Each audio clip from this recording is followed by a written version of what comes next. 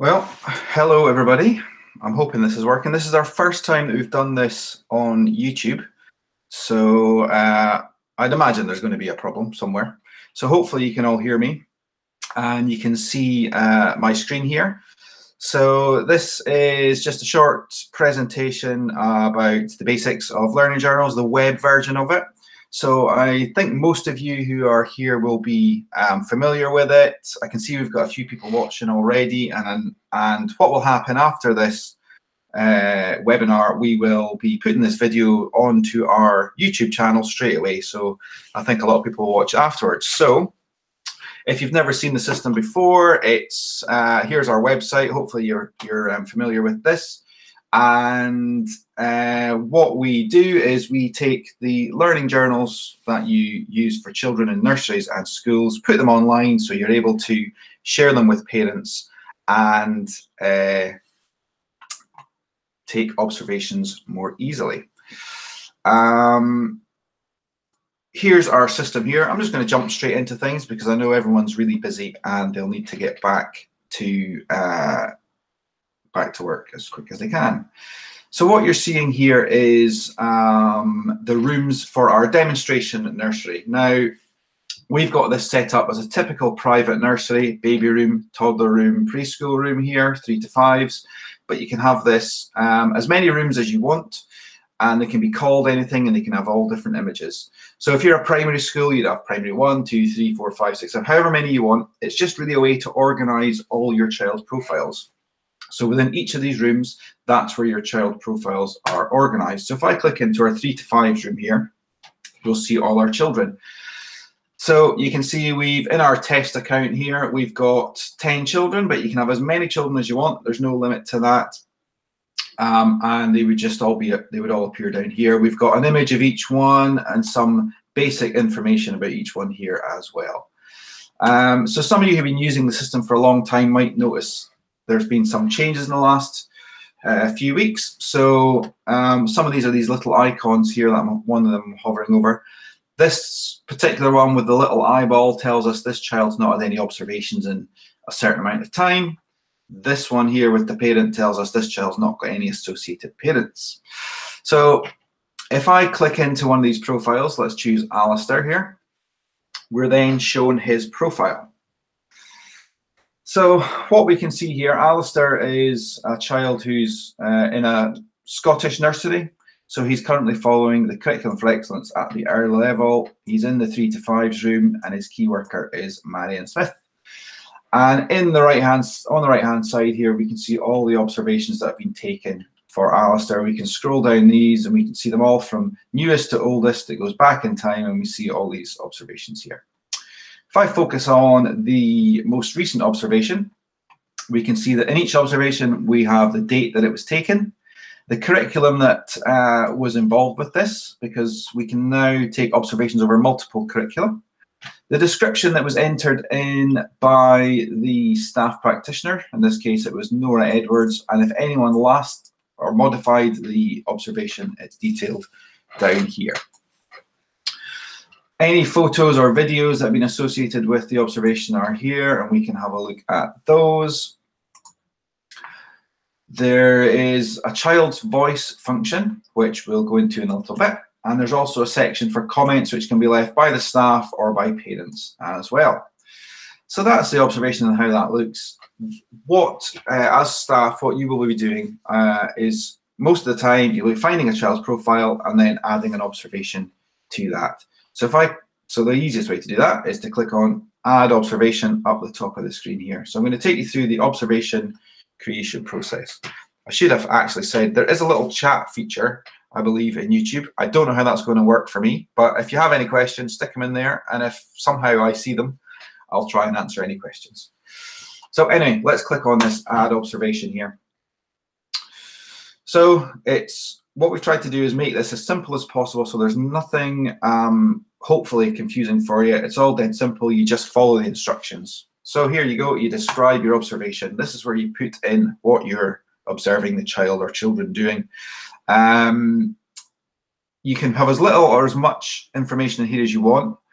And I know that there are different standards of observation and different requirements throughout the country. So what it would be sensible to have is a conversation within your nursery or your school about what a good observation looks like and what the content of that observation should be.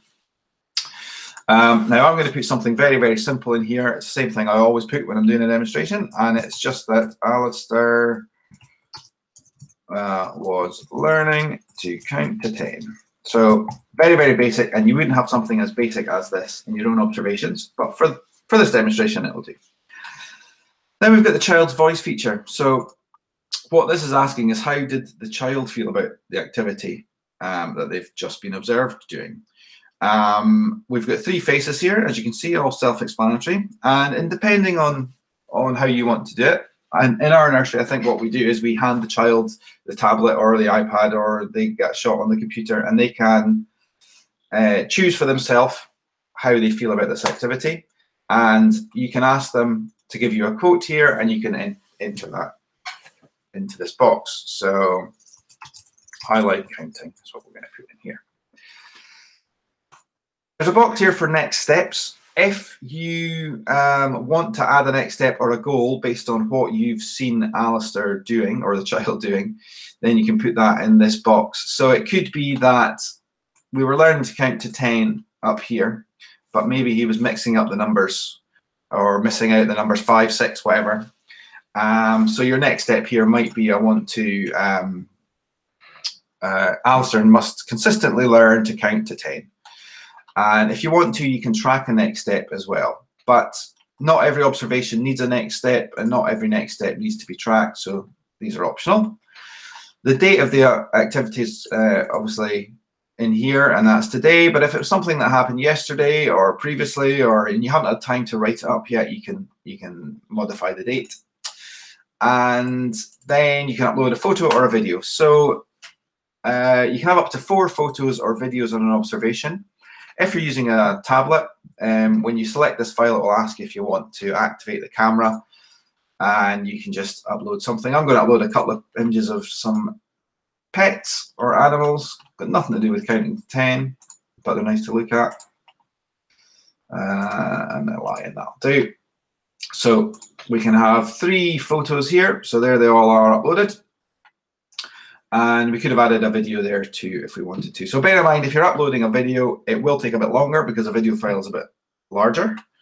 Um, so if you're uploading a, a 30 minute uh, nativity play from Christmas, then uh, you might find you run into issues with uh, either bandwidth or things logging out. So moving on to the next stage,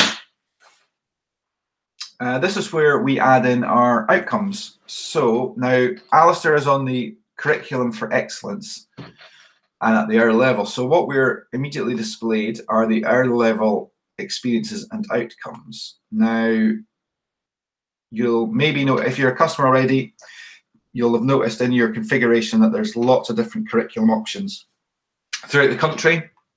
Um, in England, you'll be on the EYFS. In Scotland, we've got multiple variations of the uh, of the curriculum for excellence. And around the world, we've we've added in different um, curricula or frameworks as well. So what system is asking you to do is just choose whichever one applies to your observation, and you can use these buttons up the top to go to the different curricular areas. So we're in, let's go into numeracy and maths. We're showing all the numeracy and maths experience and outcomes, and we can just choose whichever one we want to. So I'll add in this one here. And you can go across different curricular areas as well. So for example, we're numeracy and maths, but say it was somebody was something to do with sciences or technologies, we can go across curricular areas and add in as many of these as we want. And we can go across different uh, curricula as well. So we're in the early level. You can see with this drop down menu here, but we can choose any other ones we want to. So say it was actually across the early level and maybe pre-birth to three as well, then we could have a look at those different uh, outcomes here and you can add them in most of the curricula, um, they will ask you to track or assess the child based on what you've seen. By default, it will be a red, amber, green selection, but you can have any, you can actually customize this in your configuration if you don't want to use the terminology of red, amber, green. Bear in mind that parents don't get to see any assessment you make. This is only for your internal monitoring and tracking. You can choose to share it with them, of course, uh, but they wouldn't see it by default, just in case they would misinterpret what you've actually done here. So to make a selection, we just choose these little buttons to save the red, amber, green. So some nurseries will have this as emerging, expected, exceeding, or developing, consolidating, secure. Uh, you can you can use your own terminology, or if your local authority has terminology terminology that, you, that want that they want you to use, uh, you can do that as well. So moving on to the next stage. Now that we've got our outcomes on, we are asked to do progression pathways. Now, this title will change depending on what curricula the child is on. In England, this will actually say the characteristics of effective learning, and in variations of the curriculum for excellence, that will change as well. But it all comes down to the same thing. It's these uh, second level or second tier of outcomes or I can statements, and it works exactly the same way. These are actually optional. You don't have to make a selection on step three. So if you didn't want to choose anything, you don't have to. So for example, this child's using the um, City of Edinburgh Council Learning Tracker, and we can um, add in options from that. So there's the Edinburgh Council numeracy tracker, and let's just add in one option here, or two, why not two? Okay, so now that we've done that, we come on to the last stage, which is about connecting it to any previous next steps. So on the left here, we've got our observation. Alistair was learning to count to 10. And on the right, we've got our active next steps. So these are next steps or goals that this child is actually working towards at the moment already. So we can see this previous observation was Alistair must be able to choose uh, an activity of interest and play with friends. And another next step is to continue to explore books with them, listening to them as a group. Now, what the system is asking is, does this observation achieve any of these next steps? Because if it does, you can connect them together using these little green buttons here. So if I was to connect this observation to this next step, we would see that now this observation contributes to these next steps. And here we go, we've chosen this one here. We can either choose to say that this next step is now completed, uh, or we can leave that unchecked. So an, obser uh, an observation, I mean, sorry, a next step may take several attempts from a child to uh, complete the next step. So if we don't choose that the next step is completed, this then becomes what we call a milestone towards achieving that next step. Now I'm going to disconnect that because these don't uh, actually connect at all. You can then choose whether you want to publish the observation, save it for later, or delete it. So if you save it for later, the observation won't appear on the child's profile when the parent next logs in. So it's if you want to maybe do a draft observation, you've not quite finished doing your description, or you want to upload more photos later on, and you're just not uh, ready for the parent to be able to see that yet, you would save it for later. If you publish it, the parent will get to see the observation. They will receive an email um, that evening, or sorry, within the next 24 hours, to say that an observation has been taken on their child and it will encourage them to log in and to leave comments as well. Uh, a really handy feature is this one down here. Hopefully you can see this in YouTube, make your screen a bit bigger. Uh, but it says publish this observation for other children. So this is um, very handy for a group observation where there's lots of children doing the same activity at the same time. So let me just check that and, and show you how it works. We click on finish here. And what we can see is we've got the observation description in here. Alistair was learning to count to 10. And we can see all the different children in Alistair's room here. And we can, if we want to, we can copy this observation over to them. So let's say that Joe and Isabel and Graham were all involved in this uh, particular observation. What we do have to be careful with, though, is that anything in this box up the top, in the describe this observation box, this will be copied over to these children's profiles as well. So currently, we're saying that Alistair was learning to count to 10. We don't really want Alistair's name to appear in these um, profiles for these children. So what we can do, we can use this uh, little shortcut up here, the short code, And if we if we just follow instructions, replace the child's name in the box below with the code, the correct child's name will appear in copied observations. So I just change Alistair to square brackets, first name. That's all you do. You literally just write first name, lowercase inside these square brackets. Was learning to count to 10. And when this copies over, it will do the same for these children. Click on begin. That's copying over these observations here. We can see that's all finished now. We go back to Alistair's observations, Axel's profile, and here we can see the observation that we've just taken. It's been created by myself. Here's our description. Here's our photographs of our nice little animals. We can click on this tab here, Learning Outcomes and Progression Pathways. And we can see the different outcomes and pathways that were taken for this particular child here. So once again, we've got our red, amber and greens in here, but if parents were to look at this, they wouldn't be able to see this here. And this observation now is added to the list of all the other ones we've done, and it just goes into his profile. We can make modifications to this at any time if we want to. We can edit this observation, say that we've published it and we didn't mean to publish it. We can set it as save for later, and we can save and exit there. Come back to our profile, and we can see now this observation is not live, it's been saved for later. Uh, if we want to, we can update the description quickly just in here. And that will, uh, oh, there you go, there's live typing.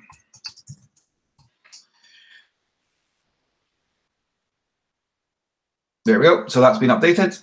And you can do that if you want to make any quick modifications. Because we did the um, publish the observation for other children, um, that's quite a general observation and description that's gone in there. So you may want to go into each one and then personalize that further by saying a little bit about those children or how they how they um, performed in that particular task or observation or activity that you were observing. So you can personalize that really quickly with this little box here. Okay, so that's that's how you take an observation, and 95% of the time, that's what staff members will do. And I've taken about 15 minutes maybe, I've no idea, to do that. Uh, but once you've done it a few times and you've got the hang of it, it's so easy and it's so simple. Um, we do have uh, an app available now for iPads. I'm actually going to be doing this all again tomorrow, showing you how the iPad app works. It's a companion app for staff only, um, and we'll be doing the same thing on that tomorrow. But the website that we're seeing here has got a lot more functions in it because it's a little bit more in depth and uh, you can see some of the extra things that we do. So if I click on our home tab up the top, what you see here is a list of observations that we have just done. So we can see that here we took our observation for Alistair. Alistair was learning to count to 10. He did really well. I just modified that one. And you can see we copied it over to Joe, Isabel, and Graham. And you can see that this has been, uh, the first name has been changed here. Graham's learning to count to 10. If we want to just confirm that, we can go and click on view here. Here's Graham, and Graham was learning to count to 10, and all the pictures are there too. Okay, so stay, staying with our home tab,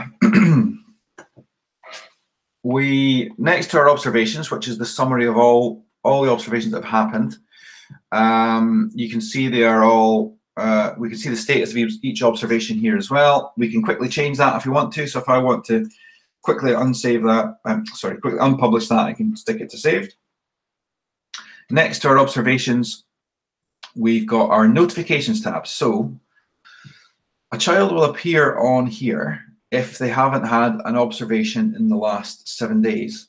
So seven days isn't a long time for some of you, especially if your schools or local authority nurseries. You know, if you go on holiday for Easter or summer, everybody will appear on this list. So in your configuration, in your settings, you can now adjust this to whichever number you want. So it's no longer just set to seven days. Uh, you can change that number. And it's not necessarily a bad thing that the child has appeared on here because it may be that Kyle has been on holiday for the last 22 days. But when it gets up to 246 days, we would probably want to speak to Andrea and find out you know, what's going on here? Is Sonia, has she left us? Is she never coming back? What's happened? And you do get children who leave and then will come back. So this is maybe uh, you know, this is something you might have seen yourself in your own nurseries. You can put, uh, let's put a reason in here for her, moved to Australia. Um, managers will be emailed this list every Sunday evening so that you are kept up to date with uh, children who have not had observations taken.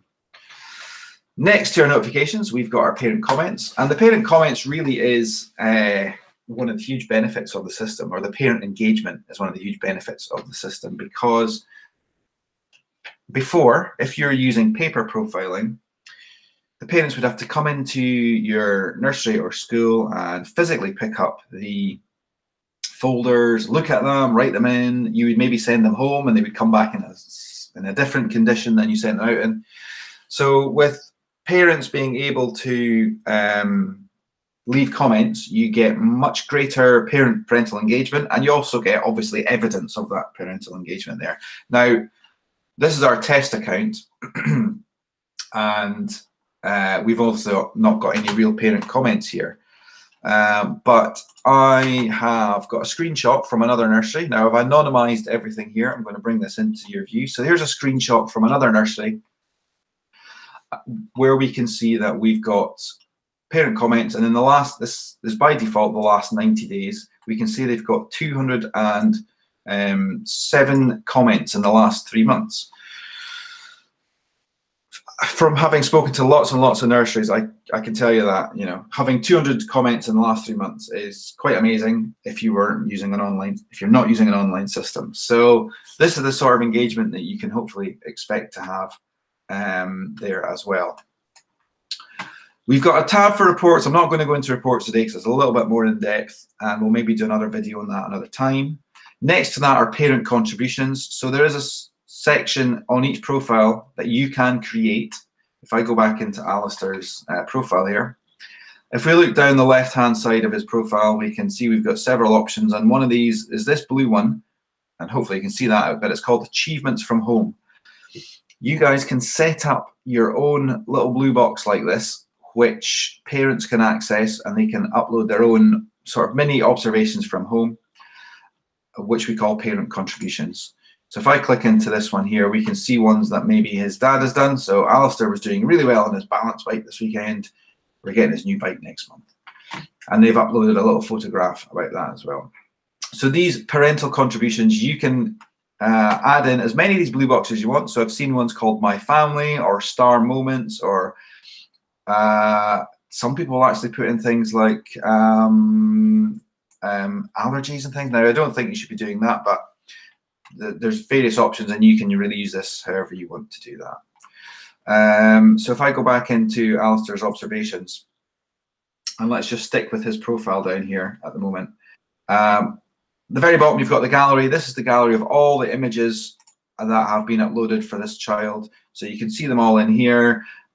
The parent has access to this as well, and they can download this gallery anytime they want as well. There's also the option, obviously, to convert the profile to a PDF. So if a child leaves or moves on somewhere, you can, the parent can do this. The parent can do this themselves. They can actually convert the profile to PDF. You can do it as well if you want to keep a record of it. And if a child moves on to another nursery that or school that also uses learning journals, we can transfer their profiles as well. So um, that say they've been in private nursery since they were a baby and they go to primary school, their profile can stay with them all the way throughout primary school, all up to end. So their record of observations and achievement throughout their whole sort of education would, would stay with them. Um, so another thing we've got down here is our learning tracker. So if I click on learning tracker, this shows you the, it's really a snapshot of where this child is right now, and it shows you the, um, really the count and assessment of the observations that have been taken for this child. Now, this is a test child. He's not got many observations, so you can see we've got a lot of empty spaces here. Um, but what it's telling us is that in each of these areas, we've not got any observations. Here we've got one in expressive arts, we've got some in social studies, you can go into each individual curricular area by clicking on the assessment button. And you'll see all the different individual experiences and outcomes. And if you want to, you can manually change these as well. So if we go to this one, we can change it to red, green, whatever we want to do. And these will update the pie chart at the top and in the child's uh, learning tracker as well. You can print this out if you want to, and you can share it with parents if you want to. But this is one of the things that is really for your internal tracking and monitoring. You can share this if you can you can share this with a parent at things like parent consultations.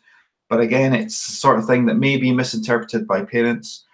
So uh, maybe carefully explain everything that's happening uh, in this view here. Uh, some of the practical things. So if I go back to our our rooms, so here's all the rooms here. We can actually uh, look at this a different way by clicking on this list button. So this is all the children that we've got, and we can see here again we've got children who've got no observations, so we can focus in on them and wonder uh, and maybe investigate why have they not got any observations. These ones have got no parents linked to them as well. We can see which curriculum each child's following which room they're currently in, and who their key worker is. So if your key workers change for ch child children, you can quickly make some modifications here. Or if the room they're in changes as well, you can quickly change that. So let's say that Evan and Fred here have moved up to the toddler's room. We can do that. And we can see whether the child is active or not. So if the child has left you and you no longer want them on your system, you can send them to your archive by unchecking the box. So let's uncheck Joe Smith. He's now no longer active and he's been sent to our archive. Uh, we can see Joe is in here now. And what we can do at this stage, we can actually delete Joe's entire profile. A big warning, if you're if you delete this profile, it'll be permanently deleted and you won't be able to retrieve that data. So before you go and delete anybody, make sure it's something definitely you don't need again. Um, to add a child is so simple. You just click on the add child button and then you enter in all their information. Uh, you can add as much of this information as you want to in here, choose the correct the curriculum that they're on to and choose a key worker. And later on, you can upload a photo for them too. Um, you can do the same with staff, dead simple. Add a member of staff and you can choose whether they are a nursery manager or a uh, key worker, external support, and you can actually choose which rooms they have access to. Now, the site I'm in at the moment, that's actually, we've set this up as a primary school as well. So for those uh, primary schools out there, these are the different um, roles that you can have as a primary teacher or primary staff, and you have different access to them all as well. We, you can upload a photo for your staff member as well so that parents can see who's actually taking observations. And all you need is a first name, last name, and email address. And it's really as simple as that with the parents as well. Here's a list of all our parents. We can see who they are the parent of, when they last logged in, any comments that they have left, and who their children are. Um, so if we, let's say we've got uh, Melissa Mendez here, who's the parent of Abby Mendez. Let's say she has another child. Click on the children box and you add in the sibling of Abby here. So let's say that Stuart is her brother. We now have that parent, Melissa Mendez, would now have um, access to both these profiles when they log in. And I'll log in just as a parent in a second uh, so you can see what that looks like. So back to our parent tab. if your parent ever forgets their login details, you can reset their details with this um, reset button down here. Um, so let's just log in as a parent actually so you can see what they see. So if I log out, log back in. So I'm going to log in as our my default parent that I've got here. Every user has their own username and password and also PIN combination. So John is the dad of um, Alistair. You can see he's got access only to Alistair's profile. Scrolls down here. Um, he can see all the different observations. He can leave comments and he can see the different outcomes that have been applied to this. Obviously, he can't see the different uh, ratings, the red, amber, green. That's hidden from John at the moment. He can convert the profile to a PDF. uh, if he wants to download or print, and he can download all his gallery, any reports, and he can add his own achievements from home here as well. So there's not much parent can do, but they do get access to all their child's information, and they can download everything they want to, obviously, as well. Okay, uh, we'll just log back in as our staff member. So one last thing I want to do on the tracking, uh, which as managers or you know heads or deputy heads, whatever you might find useful. But if we go back to our children tab, there's a button marked cohort tracking.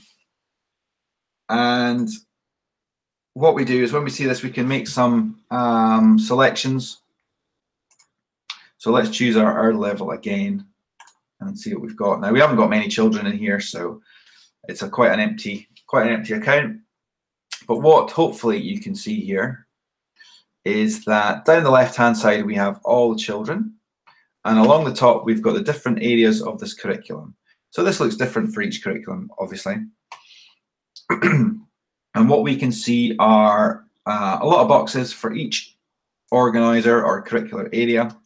And what that tells us is what this child has been observed. So this is automatically completed by the system and you can get a, a quick overview of how um, different groups of children are working, different ages of children are working. Uh, what it's helpful for is if we look along a row, we could see that Jennifer here has not had many observations in any of the curricular areas. And if we look down the columns, we can see that which children have not had. So we can see that all the children have had an activity and sport observation here. And what it would do is help. Well, why is why does Sonia not have one here? Why has Alistair not got one here? So that will help you focus in on areas where there's not as much coverage or where there's a different level of ability uh, between different children or between different groups. Um, there is an option to make this as PDF, but the, you know you can see it. This is quite a large um, screen here, and it becomes quite unwieldy if you're printing out. So we advise to print this screen as little as, as possible. The same as on the learning tracker with the pie charts, you can actually uh, manually make changes to this as well. So say Jennifer, we know that Jennifer has, um, she's secure with her 2D and 3D area of the curriculum. We can click on that box and we can say that actually she's green in that and let's say that she's green in, in all of her numeracy for the R level. Uh, you'll see that this got a little M here. This is telling us that we've manually amended this and manually made that assessment because realistically, you're not going to be taking, be able to take an observation on every child at every level of the curriculum, every curricular area. So if you want to make a manual assessment or manual judgment, using your professional opinion, then you can do that there. um, okay, guys, so that's the basics. And I did promise I was going to try and keep this to half an hour, and I've gone a little bit over. Uh, we'll be doing this again for our iPad app. So if you um, there's a if you've already done it, there's a little uh, registration form on our website. If I go back to that here, so here's learningjournals.co.uk. If you want to come along tomorrow, same time for the um, iPad app webinar, go to the online demo page and fill out the form here, first name, last name, email address. That's all we need. We'll send you a link tomorrow morning with the YouTube link again, or you can just come back to our channel and somewhere in here, there's an option to view live streams, so you could do that. But sign up and we will remind you of the link in the morning. If you don't already use Learning Journals and you want to sign up for a free trial, you can do that by going to our free trial up here. Complete this form. We'll get that your account created for you. We need some information so we can set up your account. So it's really just your address, what rooms you have, for example, and how many children you need. And we will get that set up for you and send through uh, your login details. Hopefully that's been useful. I hope it's actually worked because as I say, this is the first time we've used YouTube. Uh, the video will be available to watch again. If you've any specific questions on anything, you can always contact us either through the website um, through this contact form here, or just email info at learningjournals.co.uk. With any questions you've got, we'll give you, uh, sorry, we'll help you with that. And you can also phone us on the number up the top of the screen as well. All right, well, thanks very much, guys. Uh, and hopefully we'll see you, see some of you tomorrow for our iPad demonstration. Cheers.